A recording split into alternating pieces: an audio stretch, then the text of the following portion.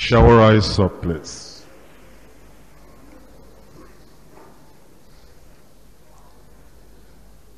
I want to formally welcome every one of you to this year's Congress in Jesus' name.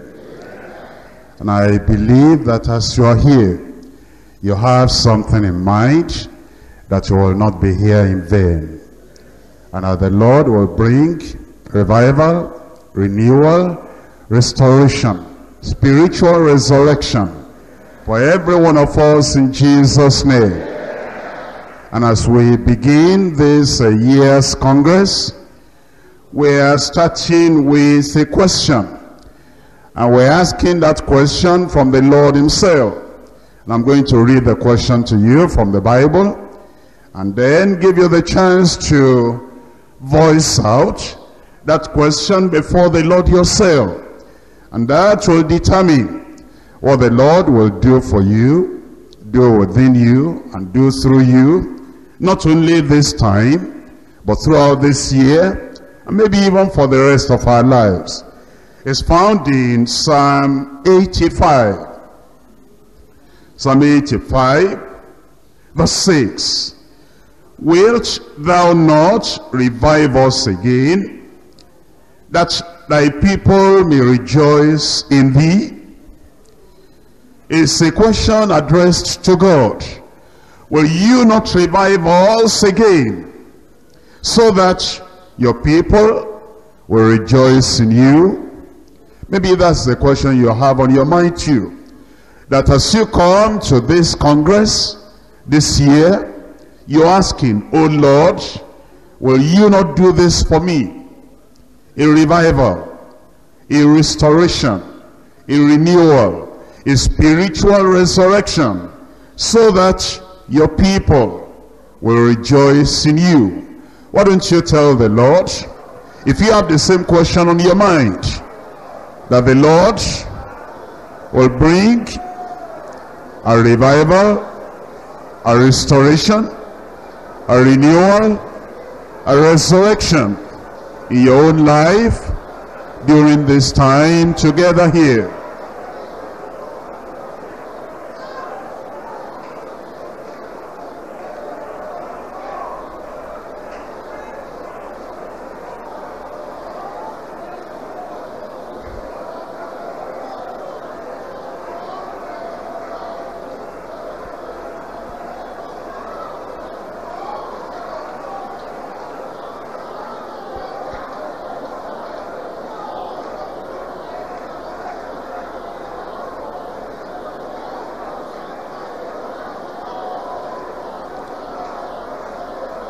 Jesus' name we pray. Almighty God, we thank you for our coming together. We thank you for your love, thank you for your mercy, and thank you for your grace. We thank you for your protecting hand. We thank you for your power. We thank you for your plan. We thank you for your purpose. Thank you for the promises you have made to us, and thank you for the provision that we know you have for us already. Lord, we gather together as a family. And Lord, we're praying that you will do something great, something mighty in every heart, in every life present here, in Jesus' name. Our eyes are upon you. Our hearts are depending upon you. We're looking at the promises you have made for us. We're looking, oh Lord, at the fact that you are a faithful God and that you will not fail. And we come bringing our empty cups before you and we are praying, oh Lord, you fill us to overflowing in Jesus' name. In our hearts, deep, deep down, we're asking you, oh Lord, is this not the time? Have you not prepared to bless us? Will you not revive us? Will you not bring a mighty restoration? Will there be will there not be a renewal? Will there not be a spiritual resurrection? Even at this time, a regathering of your people to become a mightier me in your sight? Oh Lord, is there any other better time? Is it not the time now when you will come in a mighty way and revive your people so that your people will rejoice before you so that all the lukewarmness, so that all the spiritual coldness and so that the lethargy and so that spiritual slumber, everything will be taken away from us so that the sicknesses and so that the problems, diseases, everything will be taken away. Oh Lord, we're asking, will you not come down your mighty power and revive your people? We're waiting for you. We're looking up to you. We're expecting. And Lord, we're praying you will come down in a mighty way. You revive us in Jesus' name. That the enemies will not laugh at us again. That the people of the world will not say, where is their God? That there will be no immovable mountain in our midst incurable sickness in our midst and there will be no backsliding anymore in our midst that lord all the fire from the altar that is dying out you will revive it and there'll be the flame from the mighty throne of god in our midst once again in jesus name. Revive your people lord so that the whole church not only the people that are here as we carry back the fire of revival we pray your people will rejoice in jesus name. We pray that from tonight you'll begin to bless us. We want to repair the altar prayer. And we want to stretch our hearts expose everything before you. And lord we're praying that fire will come from your throne and consume the sacrifice in Jesus name. Lord we know you will revive us. We know you will renew us. There will be a mighty spiritual resurrection. Do it for your people O Lord in Jesus name.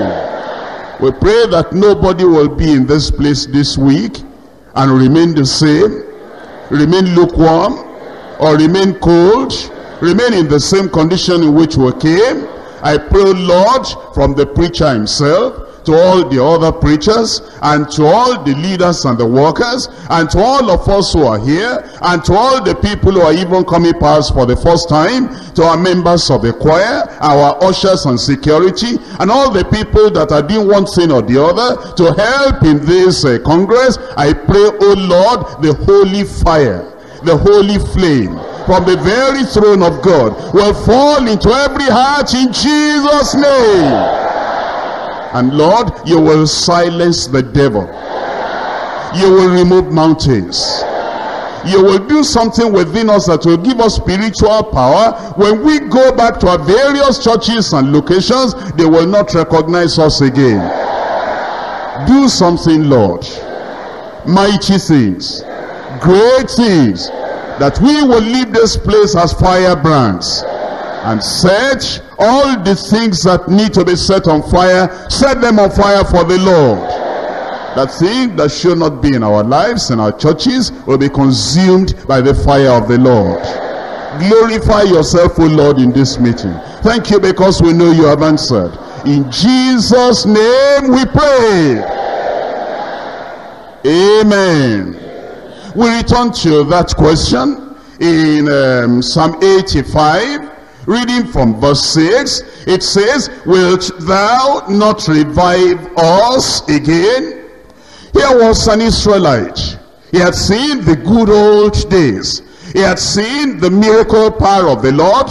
He had seen when the fire of God descended and the people shouted uh, the mighty praise of the Lord. And now he was living in the generation of the children of Israel when it appeared things were cold and things were lukewarm and it appeared something was not moving right and then he went prostrating before the Lord he said Lord look at your people Look at our condition. Will you not revive us again? He was standing as a representative of the people of God. In using the word us, he was saying, will you not revive us, the leaders in the nation? Because he knew that if the fire will fall upon the leadership in the nation, that fire will go into the real, into the congregations and into the whole nation. He was speaking perhaps even for the Levites. The Levites that were now in the motion of a service, in the motion of all the things they were doing. The mechanical things were there, but the fire was not there.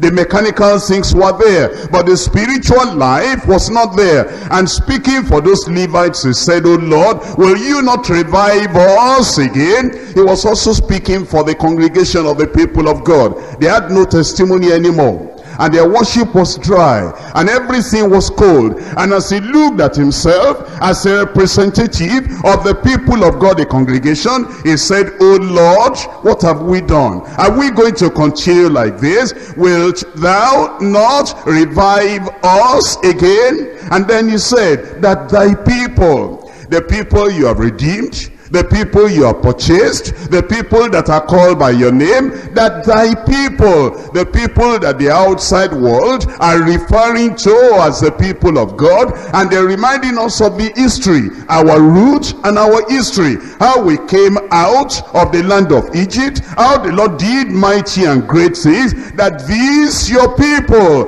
the people of this generation, who are hearing of the story of the mighty revival at the time of Moses, at the time of our great grandfathers in the way of the Lord. But what they heard in history they are not experiencing today the joy and the testimony that they heard in history. They are not having it today. He said if you will do it for us what you did for our forefathers. If you will do it for us what you did for the prophets of old then thy people will rejoice in thee.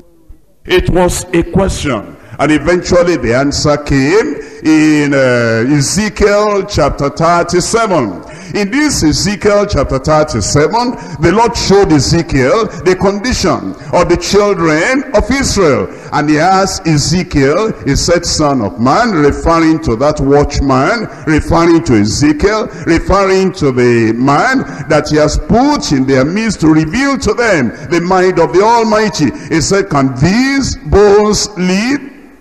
Can they come up again? Can there be a resurrection? Can there be a regathering? Can there be a restoration to the old time glory that has been lost? Can there be a renewal? Can there be a revival, son of man? Can these bones live? And he couldn't answer. And he didn't want to say, no, they cannot live. He didn't want to say the condition is so deplorable, nothing can be done. And yet he didn't want to be too optimistic about it. And so he said, Oh Lord, can I tell? Thou knowest. And then the Lord told him, he began to tell him what to do. And as he began to do those things, then something began to happen. I believe that the Lord will tell you what to do here. And as you begin to do those things, immediately before you leave, I believe from tonight, something will begin to happen. It will happen in your soul. It will happen in your body. It will happen in your life. All these things that, uh, you know, have brought a coldness, lukewarmness into our lives. Do you know that everything will be burnt away by the fire of the Lord? And so, as he did what uh, the Lord wanted him to do, then the revival began immediately. And eventually, before the end of the whole thing, there was a great, mighty army. And I believe that that's exactly what the Lord is going to do. But the question is, do we need revival? I said, do we need revival? As individuals, we need revival. And as a church itself, we need revival.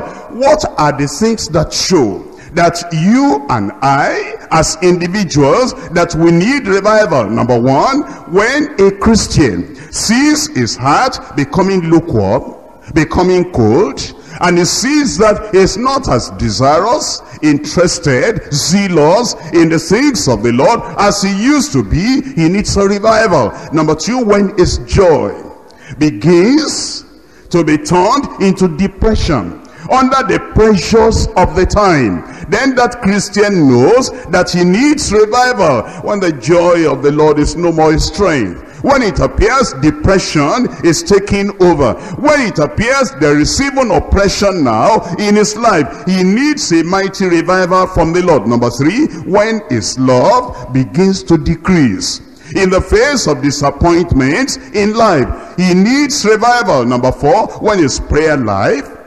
becomes choked by the activities of a busy life, that individual Christian needs a revival. And number five, when his service for the Lord is losing excitement. He just goes now to the service and he goes on in the motions of that service. There is no more excitement in the service of the Lord. It's become so used to it, it becomes monotonous. That individual Christian needs revival. Number six, when his desire for the word of the Lord, for the strong meat of the word is disappearing. And he's uh, just having quiet time now, just to have the quiet time. But uh, the, the thing he used to discover in the word of God, the depth of revelation in the word of God is no more there. He needs revival when his faith, number seven, in God is giving way to the fear of man and he doesn't hold on to the promises of God anymore because of the problems that are greater in his mind than the promises of the Lord. He needs revival. Number eight, when his heart is becoming gradually hardened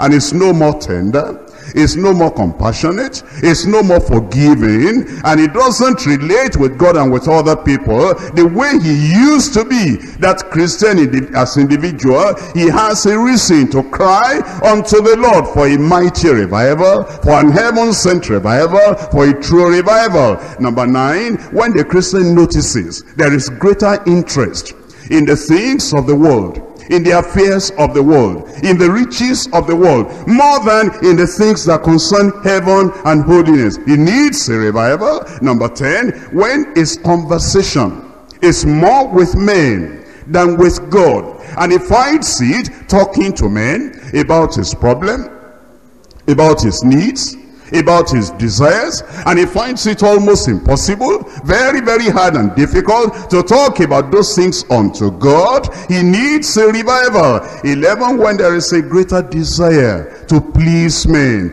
than to please God and then he leans toward men more than he leans upon God he needs a revival. Number 12 when he, he, he finds out that he delights in the people of the world more than the people of God. When he finds that he has fellowship with the people of the world and he only tolerates the people of God, that individual Christian needs a revival. And as you look at all these things we're seeing, and you begin to ask yourself, do I need revival? As I consider my relationship with God, I consider my relationship with my fellow brothers and sisters, I consider my thirst for the word of God, I consider the things that I used to love, and a deep burning desire for them, and I see my condition spiritually now, then I should be asking myself, don't these indices evidences, marks in my life, do they not show that really I need revival? Now, we've talked about the individual. When we look at the church and you think about the church and you are asking, is the church all right the way it is? Or does the church need revival, restoration, spiritual resurrection?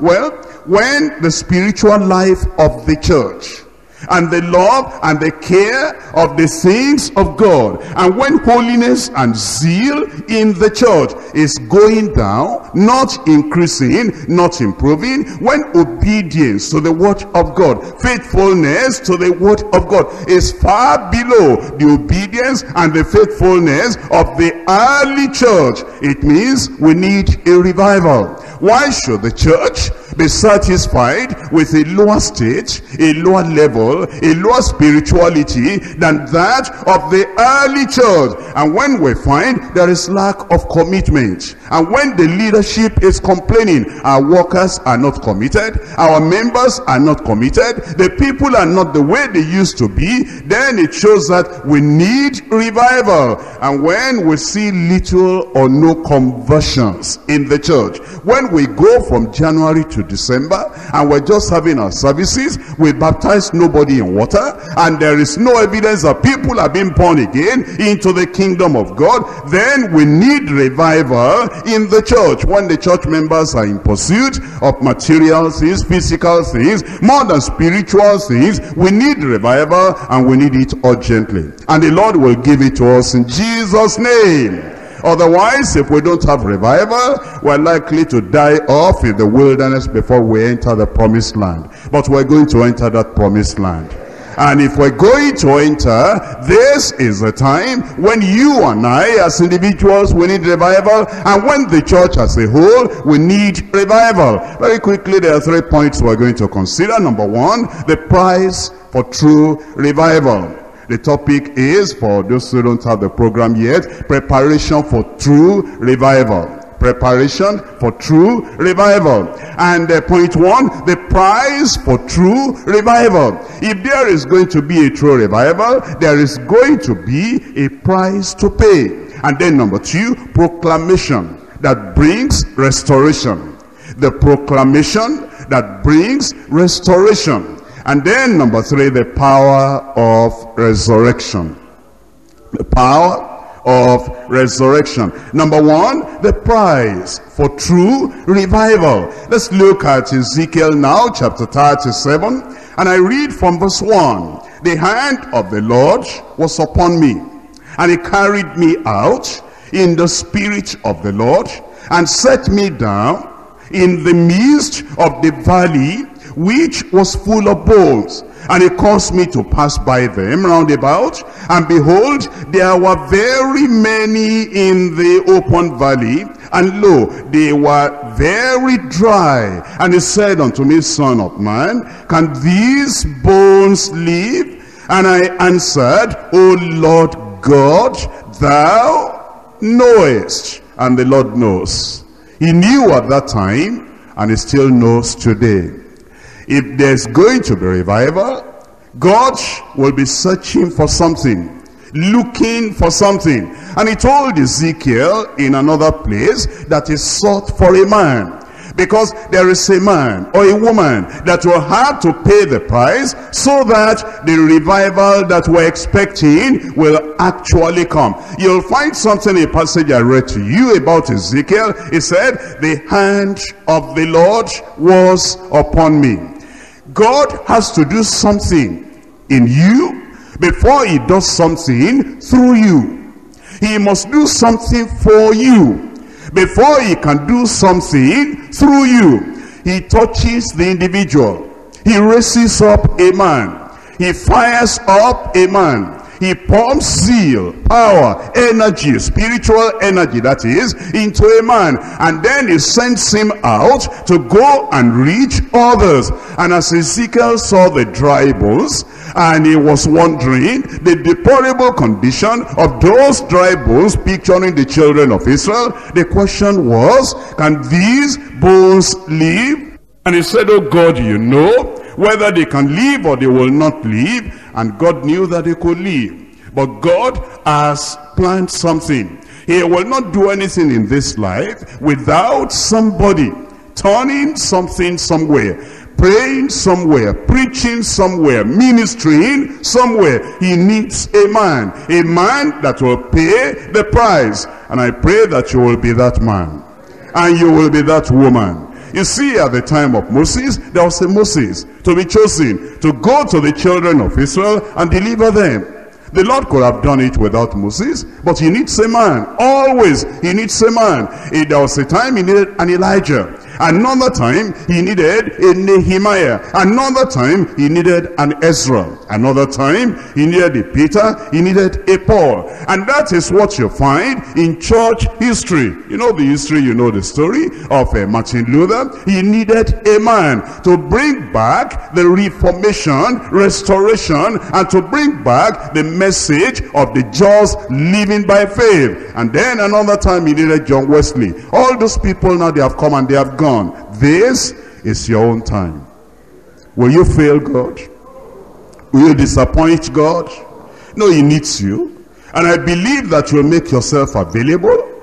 And the Lord will use you. Like he used all those people but you will have a price to pay. As every one of the people that have gone before us, they had a price to pay. In Psalm 141, Psalm 141, in verse 7 here we're looking at the condition of the children of Israel this is the spiritual condition the description of their spiritual condition Psalm 141 verse 7 our bones are scattered at the grave's mouth as when one cutteth and cleaveth wood upon the earth. But mine eyes are unto thee, O God, the Lord. In thee is my trust. Leave not my soul destitute. You see, in verse 7, he describes the condition. He says, our bones are scattered at the grave's mouth. Left you in the hands of the people of the world, we are ready in the grave's mouth. They are ready to bury us, and they feel that there is no there, there is no reason to keep us because we are dead, and the bones are dried, and the bones are separated, and the bones are scattered, and there was no hope at all. But then, when you can pray, and when you can talk to the Lord, it says, But mine eyes, in verse 8, are upon thee. It says, O Lord, O God, the Lord, in thee is my trust. Leave not my soul destitute. In Second Chronicles, chapter 15. Second Chronicles chapter 15 verse 3. Now, for a long season, Israel had been without the true God. Can you imagine that? The people of God, those he redeemed, those he saved, and he brought them out of the land of Egypt, and he settled them in the land of Canaan. For a long time, Israel had been without the true God, without a teaching priest, and without the law. Yes, the law was there uh, reaching on the tables of stone, but it wasn't in their heart. It wasn't in their midst. It wasn't in their community. And they were living as if there were no law. That was a condition. And in fact, uh, some of them were like uh, in, uh, between two opinions, thinking, are we still going to get back to the Lord? Or does it mean that hope is forever completely lost through for us? But you see, if you are going to be the person that God will bring into this picture, and God will use you, you need to be a man that will bridge the gap, it in Jesus' name. But if the Lord is going to do it, what kind of man will you be? And what kind of man will I be? What price will you have to pay? And what price will I have to pay? So that the Lord will do such a thing in the midst of his people today. Those that will be used by God. In such a mighty revival, there will be number one, those who have repented and sought the Lord for genuine salvation. Well, that's very clear. Because he cannot use the dead to raise the dead. You must come alive spiritually. If you are going to be able to minister to the people who are dead spiritually, the blind cannot lead the blind. If you are still a slave to sin, if you're still unsaved, unredeemed yourself, how can you help in redeeming the people that are lost? How can you help in saving the people that have not known the Lord as their Savior? So then, number one, you must have repented and you must have sought the Lord and received genuine salvation. Number two, he will use the people that hate sin and do not love the world with all its sinful attractions and pleasures. The people that God will send to the world to go and draw those worldly people away from the hands of the devil, from the God of this world, and bring them into the kingdom, they will be the people that hate sin and they do not love the world. Neither do they love any of the pleasures of the world. Number three, there will be people that have conscience void of offense toward God and toward man. Check up. All those people that were used in Bible days, Ezekiel, Jeremiah, Isaiah, and all the rest, you will find that they were people, they were not carrying some dead weight of guilt and condemnation in them. They were not confessing sin personally before they will be able to minister. All that had been settled and they had conscience void of offense toward God and toward men. Number three, they, number four, they were people that were holy and pure. Pure in heart, pure in language, pure in their lifestyle. Number five, they were people that were filled with the Spirit. And if you look at Ezekiel and you look at it from chapter 1 and through to the end, you will see very, very many times how he will say, the hand of the Lord was upon me and he brought me out, he carried me out in the Spirit of the Lord. If you have not been baptized in the Holy Ghost, do you think that the Lord will leave all the other people that filled with the Holy Ghost and then concentrate on you, that you are the one to bring revival? How can you bring revival? I mean heaven sent revival. I mean the revival that will set the people of God on fire. If the Holy Ghost has not set you on fire yourself. If you have not been baptized in the Holy Ghost, I challenge you during this Congress, you must be filled with the Holy Ghost. And you will be filled in Jesus' name. And then number six, they're the people that maintain a close fellowship relationship with the Lord. They're not talkatives. If you find, if you look at Ezekiel, you will find that a lot of times he was dumb he will not be able to say anything. And then when the fire began to burn within, when the message came from above, and when the vision became very clear, then the Lord will loosen the tongue and then open his mouth and then he will begin to speak. If you find out in the Bible, the people that have been used of God, check off from your own Bible and you will find out they were not people that were talking, talking, talking too much. That was the problem with Samson. He had the power of God and the Lord could not use him as much as he would have wanted to use him because he was a leaking vessel. Because he spoke and spoke and he spoke so much, the power of God had leaked away from his life. Number seven, they are the people that receive instruction daily from the Lord and from the word of the Lord. They do not rely simply, only, merely on flesh and blood for all that they want to know and for all that they know. Number eight, they are the people that are fearless and bold for the truth. They have conviction. The people that can challenge Pharaoh, let my people go. There are people that can come before Ahab and say, according to my word, there will be no rain nor dew these years according to my word. There are people that can reply in uh, Ahab when Ahab says, Elijah, you are the one troubling Israel. And they will point at him and say, I'm not the one troubling Israel. You are the one troubling Israel. They are the people that are bold for the truth and they are fearless uh, for righteousness. Number nine, they're the people calling sinners to repentance at every opportunity. Uh, whether you are preaching from the pulpit or you are preaching in the bus or you are talking to individuals, you are always calling sinners to repentance. And then number 10, they're the people that want their congregations of imminent judgment for the disobedient and rebellious, yet holding forth God's promises of mercy and grace to the penitent and uh, there are people that are eager to please the Lord rather than to please men. Whether they're in the pulpit or they're in their prayer closet, their desire all the time is to please the Lord. If the Lord will see such an attitude in you, such qualification in you as well as in me, I believe that he will use us in this generation. He will use us in Jesus' name. Uh, we find in Ezekiel in Ezekiel chapter uh, 22. Ezekiel chapter 22 and in verse 30. And I sought for a man among them. And I sought for a woman among them. He needs men he needs women and is seeking for people. And I've told you all the price that we need to pay. That we lay everything upon the altar. We become so consecrated and committed to the Lord. And we say, Lord, I've heard your voice. I've seen that the church needs revival today. You are going to have somebody you are going to use. And I know you are seeking for a man, you are seeking for a woman. I surrender myself. I give up myself. I want to be used for this generation. And I sought for a man among them that should make up the edge and stand in the gap before me for the land that I should not destroy it but I found none. At that time he found none. Will he find somebody today? Will he find somebody today? He can save this nation.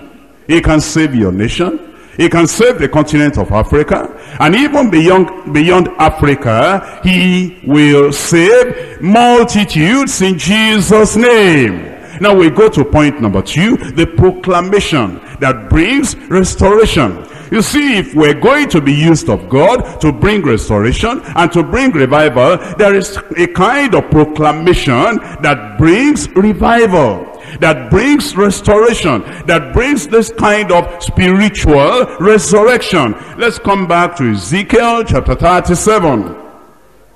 Ezekiel chapter 37, reading from verse 8, from verse 4. Again, he said unto me, prophesy unto these bones, and say unto them, O ye dry bones, hear the word of the Lord. Isn't that very significant? They were dead bones, they were dry bones, they were scattered bones. Naturally, they didn't have ears to hear.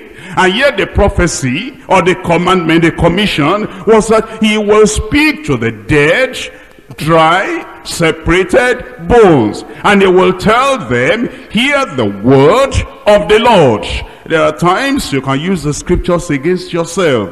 There are times you may know some scriptures and you will use those scriptures and say, look at what the scripture says, that the sinners are dead in sins and trespasses. And then you use human logic, you say, dead man cannot hear. And so if those people are dead, how can I speak to them? Well, that's human logic. But here we're told of these dead and dry bones that they should hear the word of the Lord. You know the Bible says the sinners are deaf.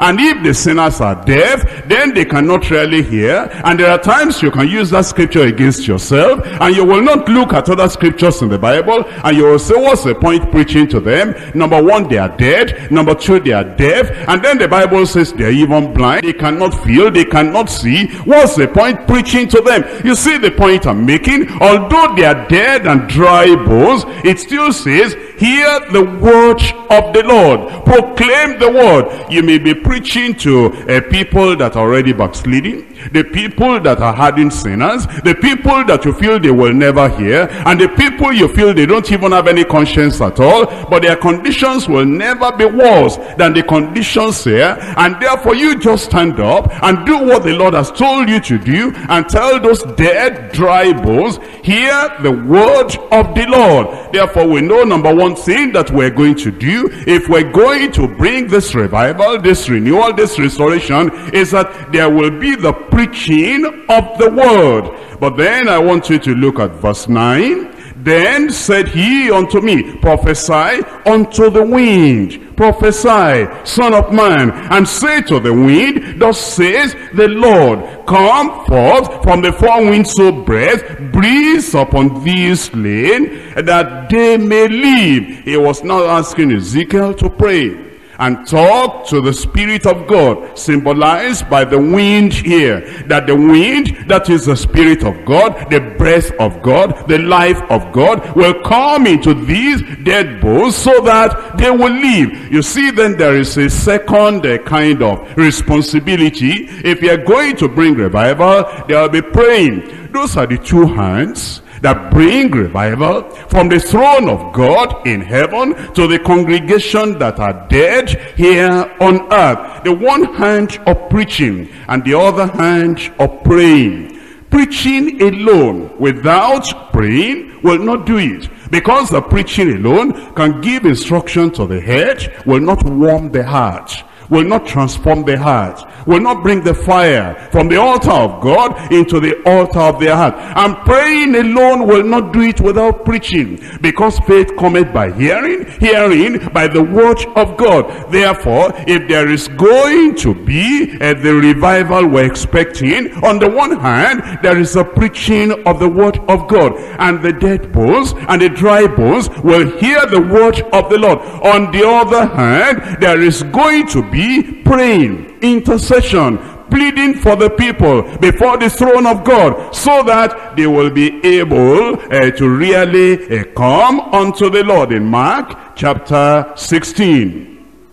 Mark chapter 16, reading from verse 15. It says, He said unto them, Go ye into all the world and preach the gospel to every creature. You see that if you're going to bring the life of God into the people uh, that you are meeting on the mission field, you are going to preach the word. You cannot say, well, all I'm going to do, the ministry God has given to me is to pray and to pray and to pray. Praying is good. Praying is wonderful. And you know, they prayed on the day of Pentecost, but the prayer alone did not bring uh, the sinners to the Lord. But the time came when Peter rose up, and then he began to declare the word of God. Prayer alone will not save the world. There are people that tell us now that the world has had enough preaching and that uh, there are many people that are preaching and preaching that all that is enough. Uh, we don't need uh, much preaching now. If you're going to bring revival let everybody begin to pray. But you know what God told Ezekiel? He said speak and prophesy unto these bones and tell them hear ye the word of the Lord. In Acts of the Apostles chapter 5 Acts of the Apostles Reading from chapter 5, verses 19 and uh, 20. Acts 5, 19, But the angel of the Lord by night opened the prison doors and brought them forth and said, Go, stand, speak in the temple. All the, to all the people, all the words of this life. Here the angel came. If the angel uh, knew anything at all, he knew that the preaching of the word of God will be necessary to bring life unto those people that didn't know the Lord. And yet, this preaching is not enough. There are people that preach and preach and preach and there is no time left for prayer at all. And there are many of us that may come to this congress and uh, when you heard I announced the topic that we're having preparation for true revival, you say praise the Lord. That's exactly what I need. I need revival in my life. I need revival in my soul. I need revival in my family. And then you make up your mind, I'm going to listen to the the word of God. I will not allow a single sentence, a single word to fall to the ground. I'm going to take in everything, soak in everything, and allow the word of God to sink into me. That's right. That's very good. But then, if you hear the word of God and you jot down everything, and then there is no prayer, you just say, well, I know that if I'm going to be revived, I need the preaching of the word. I will hear the word. I will concentrate on the word. You know, revival will not come in that way. It's not only the hand of preaching, but with the hand of prayer that will be able to bring revival. That's what the Lord told Ezekiel after he had uh, prophesied and spoken and proclaimed uh, to the dry bones. Now he was told, call upon the Spirit that the spirit of the living God, the spirit of life, will come into these uh, dead bones. And if we're going to have revival during this week, we really have to pray. And I believe we're going to pray. We will make up our mind. You hear the word of God on the one hand, you pray on the other hand. Look at the early church in Acts of the Apostles chapter 4. Acts of the Apostles chapter 4, reading from verse 24. It says, and when they heard that, they lifted up their voice to God with one accord. They lifted up their voice to God with one accord and they said, Lord, thou art God, which has made heaven and earth and the sea and all that in them is. And then they went on and they just prayed. Verse 31, and when they had prayed, the place was shaking where they were assembled together. I wish we could pray like that. I hope we're going to pray like that. I pray we will pray like that. Because it says, when they had prayed, the place was shaking where they were assembled together, and they were all filled with the Holy Ghost. They had been filled in Acts of the Apostles chapter 2, but now we have a new challenge. We have new threatening. We have new conflict. We have new problem. And the people were trying to restrain them and hinder them. And they knew that although we're filled with the Holy Ghost before, we have been serving the Lord. Don't you know, as you have been filled with the Holy Ghost, and you have been preaching, and you have been doing this and doing that, uh, you are getting tired. And because of that, you come back now, because of the new challenges, because of the new threatenings, because of all the things that the Pharisees and Sadducees, and the scribes and the Sanhedrin, because of the things they are sin, you now come to the Lord and you pray again. And you are filled with the Holy Ghost again. And then they spoke the word of God with what? With boldness. I believe the Lord will do it. I believe the Lord will do it. And if the Lord will do that, He's going to do that in our midst, then we have to be people that are completely surrendered, submitted, yielded unto the Spirit of the Lord. I've told you there are two things we're going to do. If you're going to really bring revival, you are going to hear the word of God and you are going to pray. Number three now, the power of resurrection. The power of resurrection. Ezekiel again, chapter 37. In Ezekiel chapter 37, reading now from verse 10, it says, So I prophesied as it was commanded me. So I prophesied as it was commanded me. It might have looked unreasonable to people watching Ezekiel, talking to those dry bones, dead bones, those bones that were scattered, those bones that didn't have any sign of a, a, possibility of coming together again. But the Lord told him to prophesy. Don't look at the faces of the people. Don't worry what you have heard about the people. Just say what the Lord has told you to say. And say it how the Lord told you to say it. God will raise the dead. He will restore backsliders. He will heal the sick. He will sanctify believers. He'll bring fire upon cold hearts if you will do just what the Lord has told you to do. So I prophesied as he commanded me and the breath came into them and they lived and they stood up upon their feet an exceeding great army. The Lord is going to do that for us. That he himself will bring that kind of revival, that kind of fire, and I believe that it will even begin to happen this night. Because the word of God has confirmed that with God, nothing shall be impossible.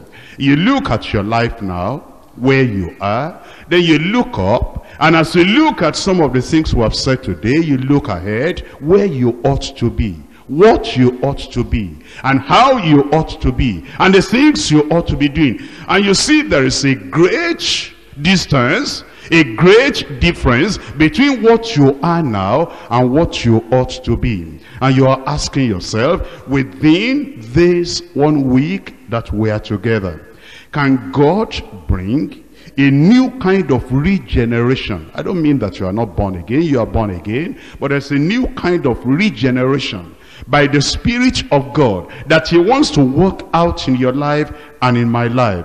And he wants to bring a new kind of restoration. I don't mean you are backsliding. I know you are children of God. But then you look at the place you ought to be. And the Lord has been waiting for you. And he says you have been a Christian now for 10 years. You have been a Christian now for 15 years. You have been a Christian, even a minister now past for 20 years. And he says, I've been waiting for a long time. See the level where you are. See the height I wanted to take you. And then what has not been done in five years, in 10 years, in 20 years, within one week. Can the Lord do it? I said, can the Lord do it? If you will allow him, there is nothing impossible with God. The one who can raise the dead, he can restore you into everything that you ought to be. And then there will be a revival of righteousness. A revival of the fire, the zeal of the Holy Ghost. A revival of real, true, divine service in the church of the Lord. Now, you see, for the children of Israel, they were already scattered. And for them, they needed a regathering. And that needed a kind of spiritual resurrection that the Lord was going to do for them. And the Lord was assuring them that he will do it. And I believe that for every individual, the Lord will bring a revival. And for us as the whole church in this nation, Nigeria, the Lord will bring revival. And for each of the countries that were present here, Ghana or Zambia or South Africa or Cameroon or whatever country it is, as a church for you in the nation, the Lord will bring a mighty revival in Jesus' name. And he can kindle and rekindle that fire even now. If we will come with our empty heart, with a real strong desire, and we say, I don't need any other thing. I want the Holy Ghost to fall upon me even tonight. And I want the Holy Ghost to turn everything around and it will touch you. It will touch me. It will touch our sisters. It will touch our brothers. It will touch everyone. Tonight, a great army is now being formed for the Lord. And we'll leave this place with the fire of the Lord. Will revival in our soul and nothing will be able to stand before us. During this week, I'm appealing to you that we come just to hide ourselves. Now with the Lord. And let the Lord do something during this week. So that at the end of this week, he will call you and he will call me. He will say, now get up, go and show yourself to Ahab. And you will go. You will meet Obadiah in the way. You will say, tell your master, I have come. And then he will say, how can I go and tell him? Say, go and call him. And you are going to meet Ahab. The people that are opposing the gospel. The people that are bringing idolatry into your community. You will meet them, you will challenge them. And the fire of the Lord will fall upon the altar. And the rain, the revival, the blessing that has not fallen for many, many years, for three and a half years. Through you, the Lord is going to bring everything down. Why don't you rise up and tell the Lord, Oh Lord, you will use me. Oh Lord, you will use me. The Lord is going to bring that revival through you. The Lord is going to bring that revival through you. He will do it within this week. Just open up your heart to the Lord and say, Lord, I need revival. Lord, I need revival. And you know the revival will come. You hear the word of the Lord. You give yourself fully to the word of the Lord that you are hearing. And then there will be praying. Because without the prayer, the preaching of the word alone will not do it. Let's call upon the Lord. Let him start tonight. Let him start tonight. Make an Elijah out of you. Make an Elisha out of you. Make an Ezekiel out of you. Make an Isaiah out of you. A Peter, a Paul out of you. He can do it. And sisters, let him raise up a Deborah through you. He can do it. He can do it. He can raise up a Priscilla in you. An Esther in you. And you can then go back to your nation. And go back to your community. And take the fire of revival that you take away from here. And take it to the people. Let him start with you. Let him start with me. Let him start with us.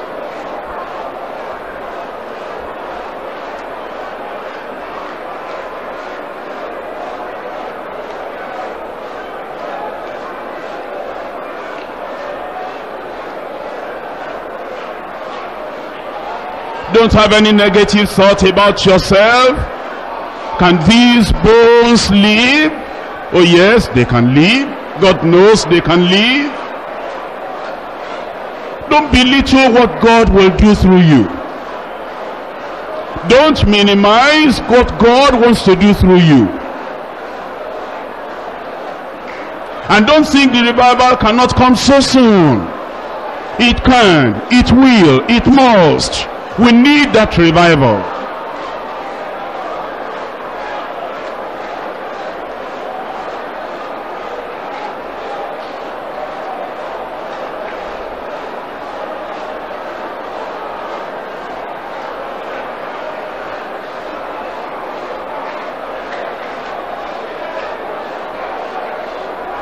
By the end of this week, you must have greater spiritual power than when you came here.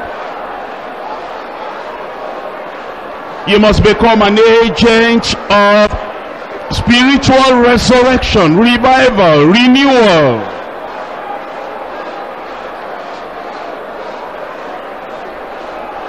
You have only one life to live. Let God make you a threshing instrument. An agent, a carrier of his revival fire.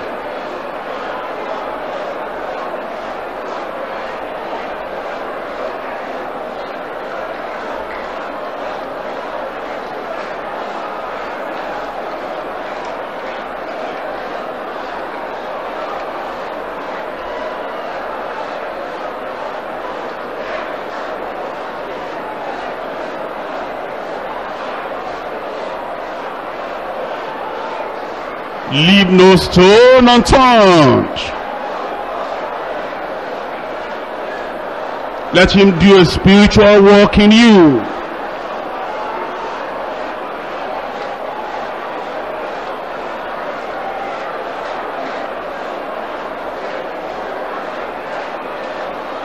Will you not revive us again that your people may rejoice in thee? He will. He will. Make up your mind. You will hear the word of the Lord. And you will pray unto the Lord.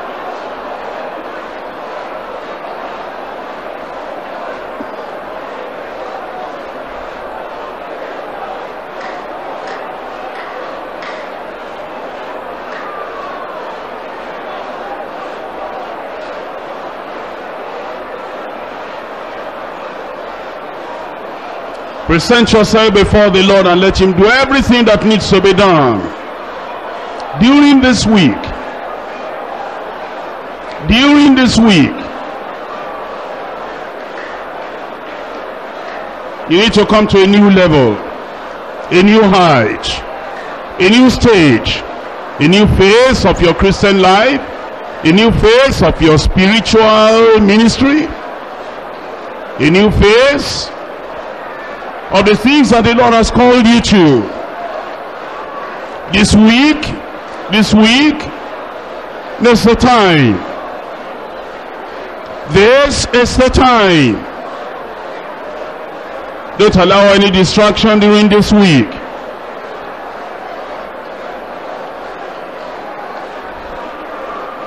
Don't allow any distraction during this week. Nobody knows your need as much as you and as much as God.